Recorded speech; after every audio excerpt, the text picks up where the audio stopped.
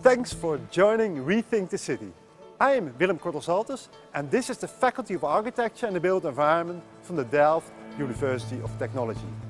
This faculty, also known as BK City, is a living lab and an international workplace where students, professors and researchers share their experiences and knowledge in a creative atmosphere. During this course, you will not only have the opportunity to experience how it is to follow a course with us, but also to interact with some of our professors and PhD researchers. It's a unique opportunity for you to learn from our team, but also for us to learn from you.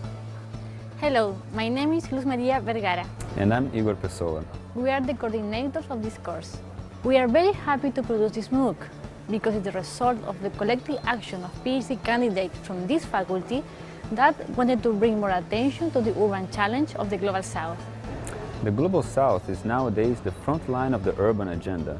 The rapid urbanization process and the complexity of the urban environment in Latin America, Asia or Africa demand alternative solutions that go beyond traditional strategy and urban policies. In that sense, the course offers an unique platform for us to truly globally exchange our experiences. We gathered young talented researchers from different departments and backgrounds to expose their work and to provide insightful discussion on three selected topics. We are a big international team. 16 researchers and practitioners from 10 different countries have built together the content of the course. Our objective is to challenge traditional approaches with alternative theories, interesting case studies and creative solutions. Differently from other MOOCs, the lecturer from this course will be the actual moderator of the course discussion. Take advantage of this opportunity and be active in the forum. The course is divided into three modules that are released simultaneously, Housing Provision and Management, Urban Resilience and Spatial Justice. Each module requires around 3 to 4 hours to be completed. We recommend you to expend one week to complete one module.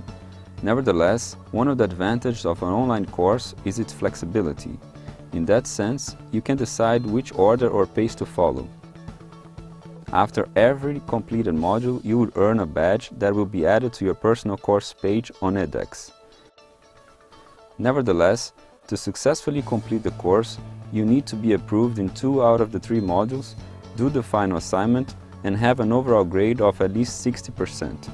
You can read further about the course requirements and the practical assignments on the course syllabus. If you have any question or comment, just send us a message in the help session of the forum. It's also important to remember that we will select a student to come to the Netherlands to participate in our summer school, Planning and Designing with Water. And we will cover the course fee, accommodation for the duration of the summer school, and also the traveling costs. So we hope you will enjoy the course and maybe join us here in TU Delft. We are looking forward to meeting you. Let's start to rethink the city.